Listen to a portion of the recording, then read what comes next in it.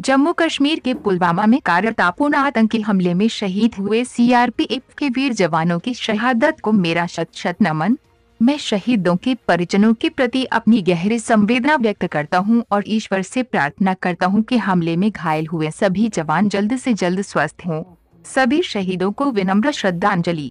भोजन जनवरी सेवा समिति के सक्रिय सदस्यों ने आज 15 फरवरी 2019 को लगभग आधा सैकड़ा लोग ज्वालागंज बस स्टॉप पर इकट्ठा होकर जम्मू कश्मीर में हुए आतंकी हमले से पूरा भारत देश शोकाकुल है। विनम्र श्रद्धांजलि भोजन जनवरी सेवा समिति के सदस्यों ने मोमबत्ती जलाकर ज्वालागंज चौराहा का भ्रमण किया और पाकिस्तान, मुर्दाबाद, हिंदुस्तान जिंदाबाद के नारे के साथ कैंडल मार्च का कार्यक्रम हुआ। अमर शहीद ठाकुर दरियाव सिंह स्मृति द्वार में पहुँच मोमबत्ती लगाया और आधा सैकड़ा लोग दो मिनट का मौन रखकर आतंकी हमले में शहीद हुए जवानों के लिए ईश्वर से, भगवान से, अल्लाह से दुआ की प्रार्थना की है कि इन सभी वीर सपूतों की आत्मा को शांति मिले और परिवार वालों को इस दुखद क्षण को सहने की शक्ति प्रदान करे। कार्यक्रम में मौजूद कुमार शेखर, राजू राय मित, सोनी, सुनील बच्चा, राहुल ऋषि, सौरभ मिश्रा दाऊद अहमद, बुल्लू कश्यप, नीरज कुमार, मोनू, शैलेश कुमार, साहू, संजय, अरविंद, गुलाम अली, अशरफ एवं आधा सैकड़ों लोग उपस्थित रहे।